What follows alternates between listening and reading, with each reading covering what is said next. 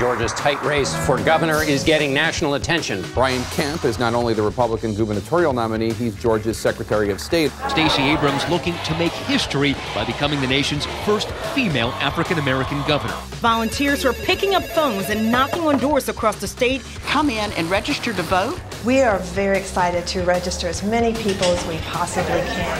What do we want? Register to vote! When do we want it? Today! I come as one, but I stand as 10,000.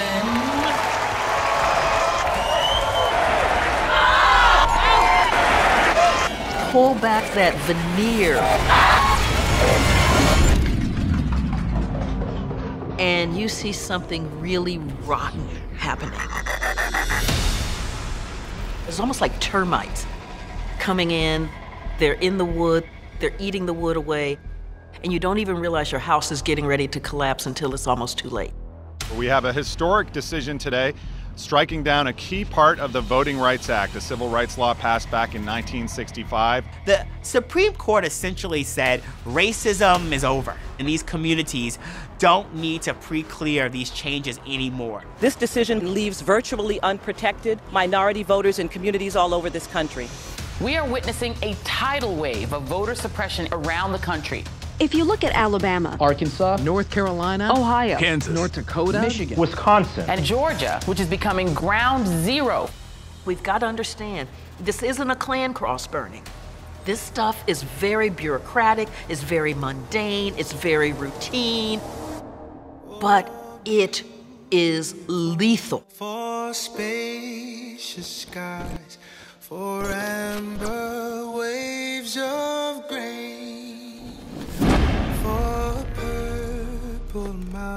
mountain majesty above the fruited plain. My name is Bobby Jenkins. I live in Cuthbert, Georgia. Uh, the county is Randolph County. I spent about 30, well, almost 35 years in education. I'm a superintendent of schools. My name is Loretta Brown.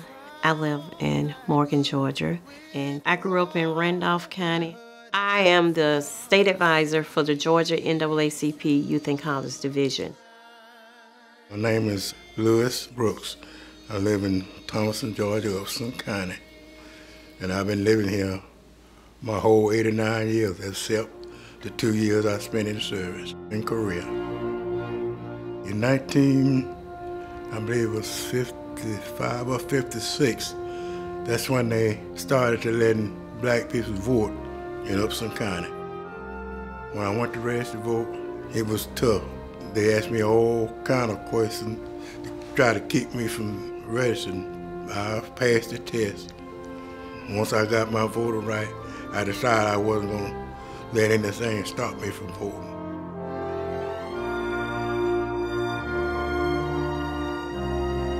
Because I used to walk.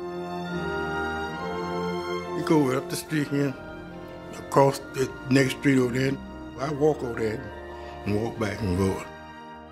And I didn't miss a voting, except when they closed the poll. I'm, I'm a citizen. It's my right to vote and speak my opinion.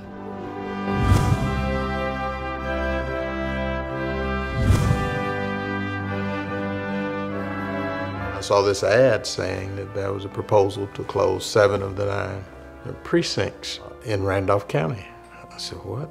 Then they put it in the papers that they was closing polls, costing too much money. First of all, Randolph is a poor county. Just to give you an example of what it would mean, there's a community benevolence a little north of town. Uh, had that precinct been closed, some of those individuals would have to go 30 miles round trip in order to vote. It would have been a terrible hardship on our poor, on our elderly, and on those who are least able to afford uh, transportation. No, I got disabled and I couldn't do no driving. I know I couldn't afford to go that far to vote. This was in a black neighborhood. It made me feel like they were closing down to keep the black people from voting because most black people vote Democrat. They only closed one white voting place. Everybody from out here in the black section go clean over there to the white section to vote. We're human, and we have our rights to vote just like anybody else. Voters in Randolph County, Georgia are outraged. Randolph County residents expressed their concerns with the Board of Elections. Our citizens turned out in full force. They were behind us 100%, trying to keep those polling places open. Convenience of the voter. You all are not considering that at all. There's no disenfranchisement for the African Americans. I went to the meeting, find out that they were trying to close seven of the precincts. You Got to stand up. You cannot allow this to continue. They gave a couple of reasons, saying it would save money.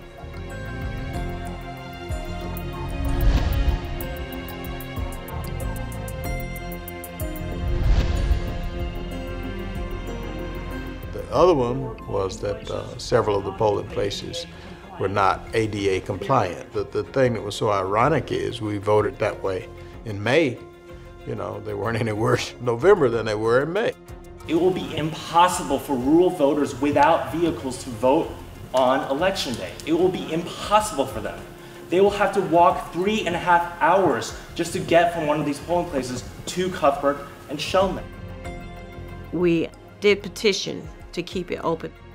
Pressure from the residents, civil rights organization, speaking up, speaking out.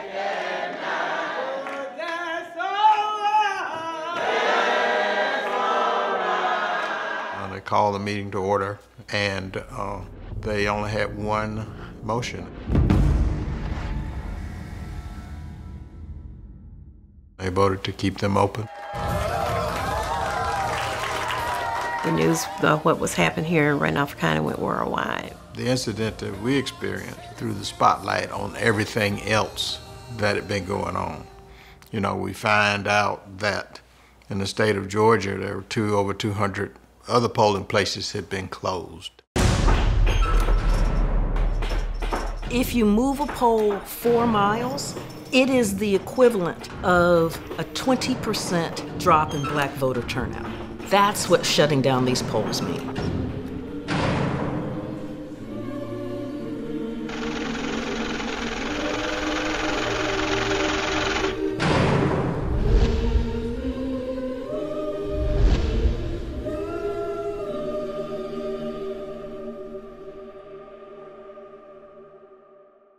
Two months to go, the race is heating up in Georgia. Stacey Abrams' campaign feel they have the momentum behind them, and many of the posts we've seen so far support that. You know, the Democrats are working hard, registering all these minority voters, and if they can do that, they can win these elections in November. There's no law in Georgia that requires the Secretary of State to process voter registration forms on a particular timeline. Kemp withheld putting the names of thousands on the voter registration list until after the election. 80% were African Americans, Latinos, and Asian Americans. Keep your eyes on the prize. This is Fulton County. Linda Marshall is my name. Most of my professional career has been in public service of one kind or another as a teacher, as a government worker. I moved here in August of this year, but because of my emphasis on always being registered and always having the ability to vote, I did that almost immediately when I got here. Of course, I also knew the importance of the upcoming election, and I wanted to be a part of that history. got closer and closer and closer to the election, and I was getting a little bit concerned, so I called the Secretary of State's office. My name is not on the roll, they can't tell me where it is. So, all of that paperwork that I sent in, I don't know where it is. I'm 65, and for the first time, I did not get a chance to vote in a very close election of historic importance and proportion. Welcome to Georgia.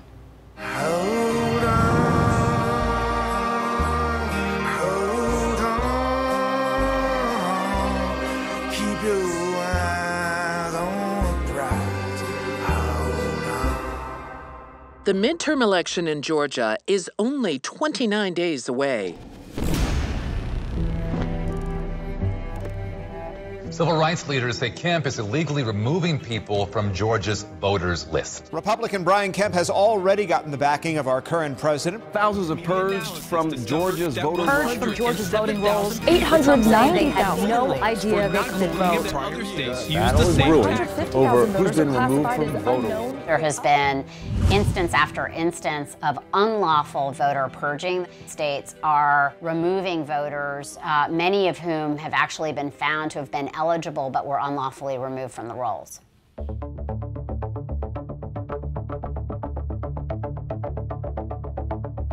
I received the purge notice. So I open it up and I read the first sentence.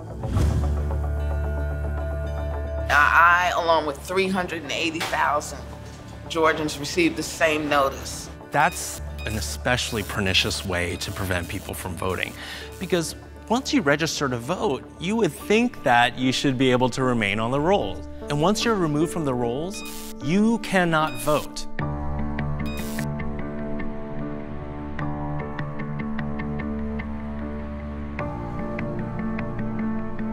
I went out and got the mail, and there were two letters in there. They looked official. You're hereby notified that the City of Thunderbolt has challenged your right to vote. The City of Thunderbolt states that you no longer reside within the municipality. My license is valid, my address is valid, I own this home. Why are you questioning my right to vote?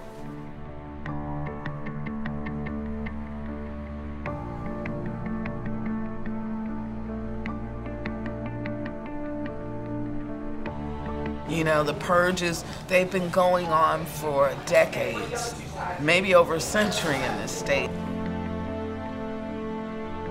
If you haven't voted in the last few elections, they'll purge you as if you must not be in the state anymore. If you move within the same county, they'll purge you, assuming you're not living in Georgia anymore. If you don't return a postcard from the Secretary of State, they'll purge you because to them it means you're not a resident at this address. All of these tactics, specifically and disproportionately, target people of color, poor people, the elderly, all of whom tend to vote for Democrats. Brian Kemp is notorious for erasing the polls and purging people right before the election deadline.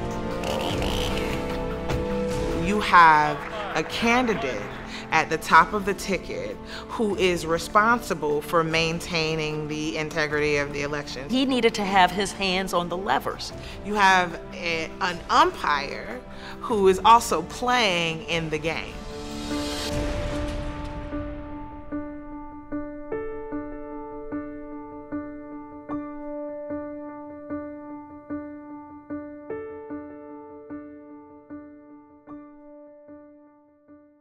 Less than 20 days away from the midterms now. The race for Georgia's governorship is a toss up. Literally is a dead heat.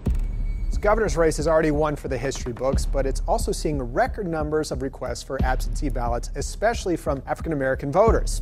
At a time where we're seeing roughly almost half of the people who've turned in an absentee ballot are people of color, that's a really, really good sign for Stacey Abrams.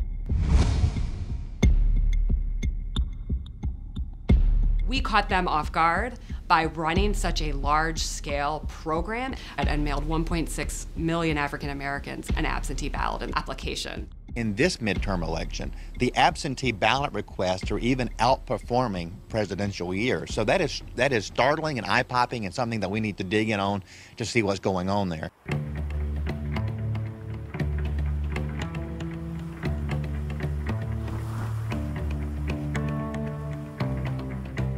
My name is Norman Broderick. I'm in Powder Springs, Georgia, Cobb County. I've did 24 years in the military, deployed to Iraq twice, Bosnia, Saudi Arabia. I voted absentee before when I was deployed. When I was in Iraq the first time, I voted absentee, and when I was in Iraq the second time, I voted absentee. The absentee ballot is a very important tool that exists to allow people, not only just the military, but anybody who happens to be away from their voting station to be able to cast their vote.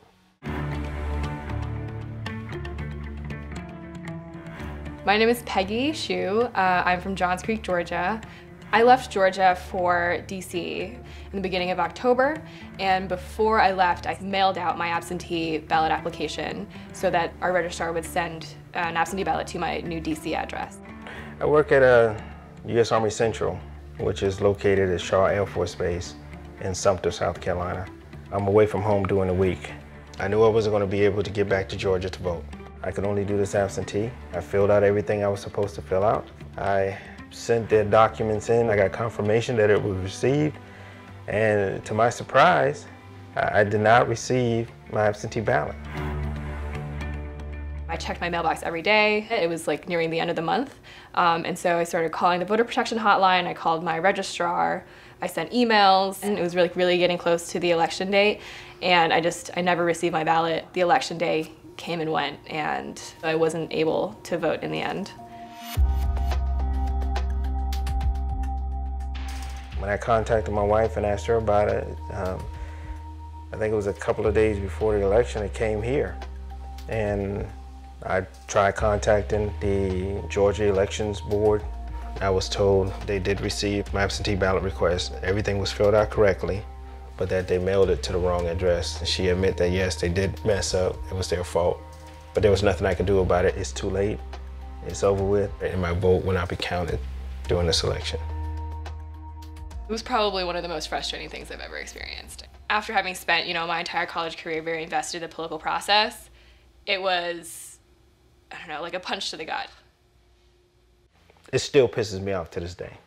Being in Baghdad, voting absentee, was easier than being four hours away trying to vote absentee in South Carolina.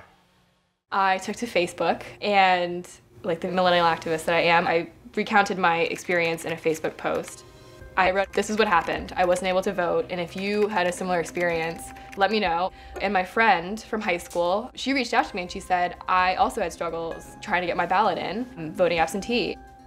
So I submitted an absentee ballot. It came two days right before election day. Over the course of 48 hours, we had 40 people so many people in our immediate Facebook circle knew somebody who had a similar experience to us. People have requested it like far in advance. Some people just didn't get their vote in. That was when we really realized that this was not an isolated incident. It was a much bigger issue and a much more deeper rooted sort of phenomenon that was going on statewide. I did speak with the Board of Elections and he just dismissed it as like a hiccup and he's like, oh, like, no, you don't really know what you're talking about. 40 case is not really a hiccup. It's more of like a wake up call. Today, we've worked to get answers about the claim that thousands of voters never got the absentee ballots they requested.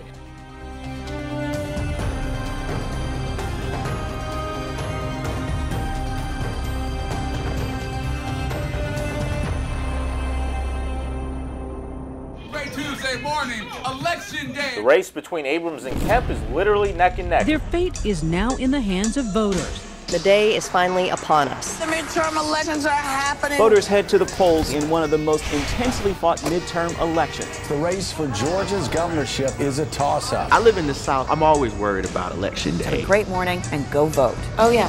Gotta go vote today. Voting started here in Georgia this morning, and if you think hitting the polls early will keep you from getting stuck on long lines, think again.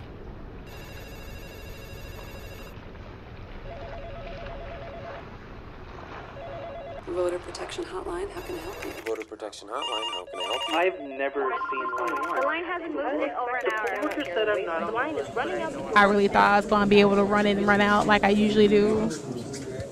The first thing I saw was just people everywhere. So we stood there for a while without moving. And then we would inch up. And then we wouldn't move. We had a lot of people with children there, pregnant mothers, elderly people. Some people have medical issues. I took my son to school that morning, and then I went to vote at Ferguson Elementary, where I vote every election. The line was so long through the school and wrapped around the building. The lines was crazy everywhere, all over the county. It was real long. I was in line for two hours. I got to the door. That's when they was checking your ID before you go in. And she couldn't find my name. She directed me to go downtown Gwinnett. And I was like, I'm not gonna vote. And it was this older lady, she came over and she like held my hand and was like, please go do it. We need this.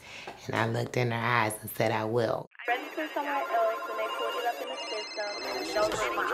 About eight or nine, we started getting the calls about the long lines. Mm-hmm.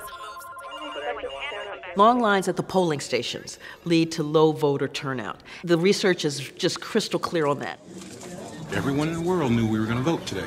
And in my neighborhood, there are no power cords. All these dedicated people waiting to vote. This is what we call voter suppression. People are like upset and angry. I started calling the Secretary of State's office. I was either hung up on, placed on hold. They want people to go home and not vote. I ain't going nowhere. I'm gonna be right here. The reason they sent me from Ferguson to the downtown Gwinnett was for the provisional vote. So I drove 25 minutes, and then when I got there, it was crowded in there. I waited 45 minutes to find out that's not where I needed to be.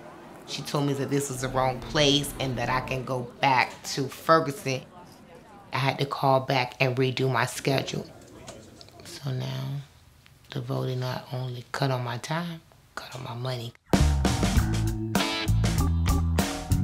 When we went in, filled out all the paperwork, had the ID, took it up to the lady. I had mine in my hand.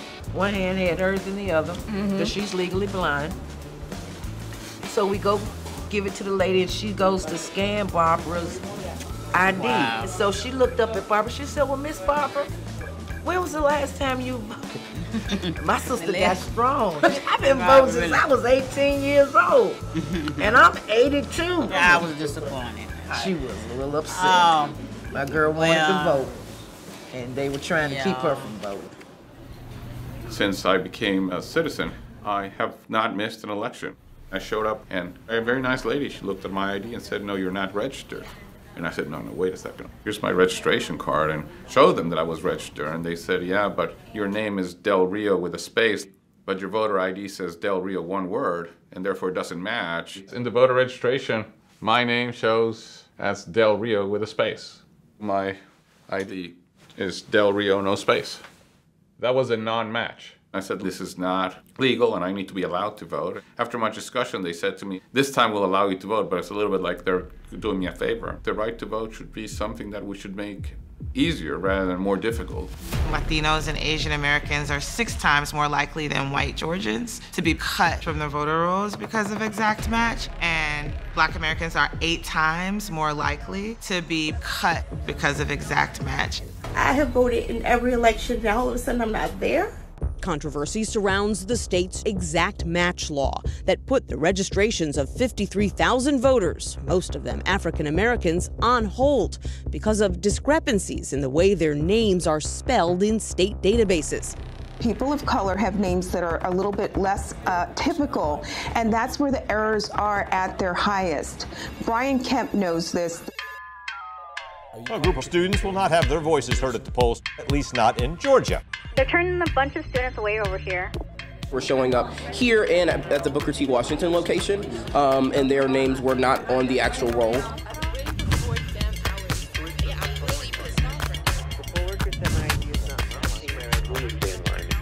The students was being turned away. I talked to over 50 students that morning.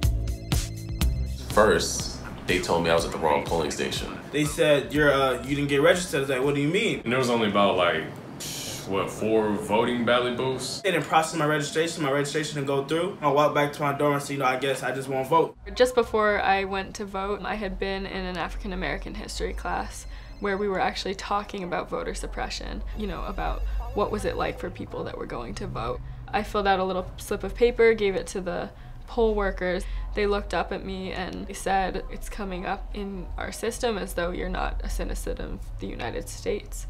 I just sort of looked at them like they had two heads. Like, I'm sorry, I was born in New York, what? When I got to the front of the line, they informed me that I was registered to vote, but not in Dougherty County. They were telling me that I was registered back home in Warner Robins, where I was from, and I've never voted there. I've never even been registered there. The thing was that I had brought proof that I was a US citizen. I had with me my driver's license, my passport card, and my Emory student ID, but they would not look at the passport card whatsoever to prove that I was a citizen. I walked out crying. What I learned in history class just hours before, this happened to me in 2018. I had been through and participated in voter registration drive on campus within the community. It was just like, wow, after all of this, I'm not going to be able to vote myself. Like when I was growing up, voting was a thing. It was an event. And so little me is trailing behind my parents watching them vote. My parents would take me to the voting polls every time when I was little. I would go in and I would help them fill out the bubbles. I get a chance to vote and then you get there and the experience is just terrible and you have to call your mom and be like, why is this so hard? You never told me it would be this hard. This was huge for us because Stacey Abrams was actually a Spelman alum. History would have been made and it would have been made by my Spelman sister. If there is no one who gets to 50% tonight, Robin, there will be a runoff in December. We'll find out as the day and evening goes on. Voter Protection Hotline, how can I help you? Are they letting you know now? Are you really kidding me? Old people who can't vote, there's young people who can't vote, there's people in every county who can't vote. It just created this intense fog of confusion across the state.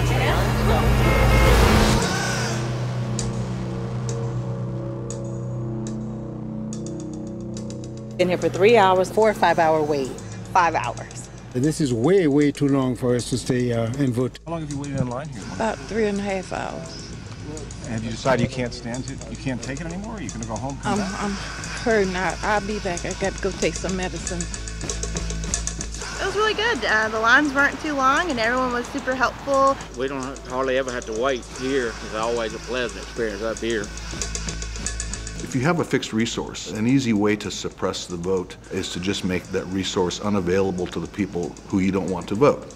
And that's exactly what happened in the 2018 election here in, in the state of Georgia. In places like North Fulton County, which are wealthy, there were more machines than anyone could ever use. In black neighborhoods, there were a quarter of the number of machines that were needed to service the population.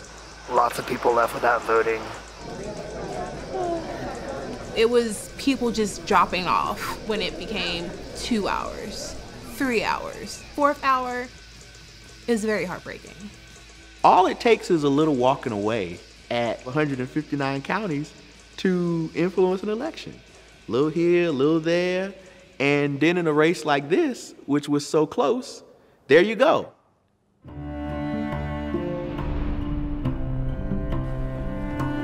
All night on Twitter, a trending topic, hashtag stay in line.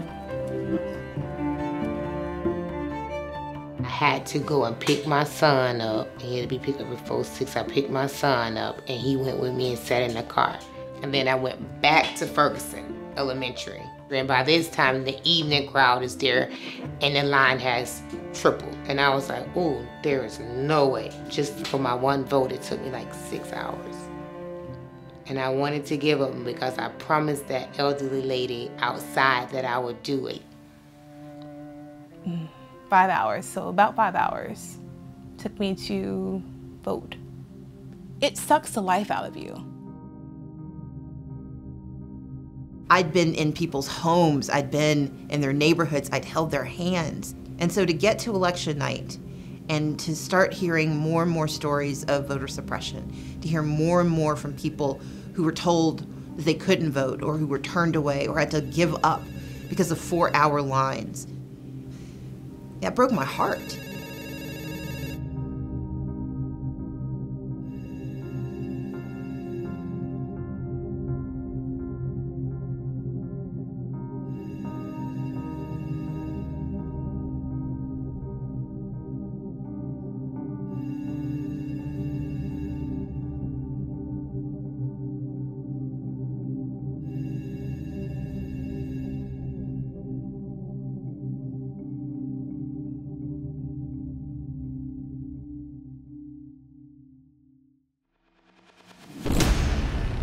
Republican Brian Kemp holds a narrow lead over Democrat Stacey Abrams. Tens of thousands of ballots left to be counted in this election. They were counting provisional ballots for hours. Provisional ballots are basically placebos. They're being given to voters to kind of um, shut them up, make them go away. The next day, I was so excited because they were saying that it was a close race. I was like, oh, let me make sure that my vote count. So I called there, the number that was on the paper that I got from the voting poll. And she go, oh no, they counting every vote. You don't need to call. I called my mom to double check. My mom worked for the poll for 20 some years. And she said, no, that's not true. You call back to make sure the vote count. And someone else says to the phone, and I got the same thing. No, you don't need to call back. We counting all the votes. We just started discovering so many people voting provisionally. We realized, oh, you voted provisionally, so you might have to come back here the next day and show your ID. Is that something you know? And they're like, no, no, I already voted. Like, I'm, I'm good. But you have to come back within three days with the documentation to prove you are who you say you are. When you have a large working class population that has to punch a clock, that's really tough. You've lost pay from work trying to vote. That's a poll tax.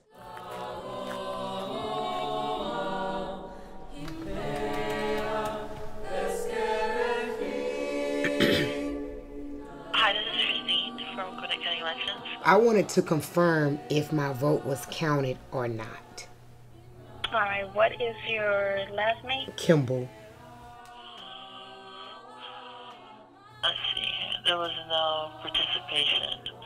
Um, So does that you weren't given credit for voting. my vote was not counted? It looks like it on election day. Yes, ma'am. Uh, no, I thank you. Goodbye.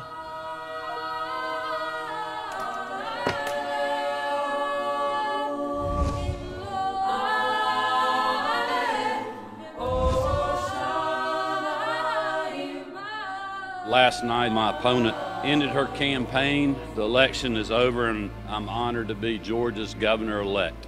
I acknowledge that former Secretary of State Brian Kemp will be certified as the victor in the 2018 gubernatorial election. But to watch an elected official baldly pin his hopes for election on the suppression of the people's democratic right to vote has been appalling. This is not a speech of concession. Because concession means to acknowledge an action is right, true, or proper. As a woman of conscience and faith, I cannot concede that. This is systematic. If you look at what has happened across this country in the last five years, 40 states have passed some kind of law to make it more difficult for people to vote.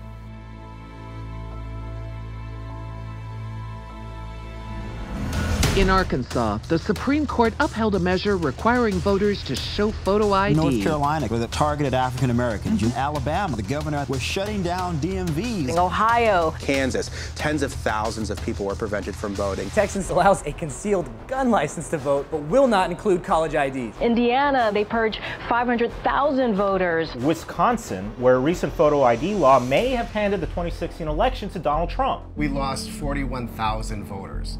I think it changed the outcome of the election in the state of Wisconsin.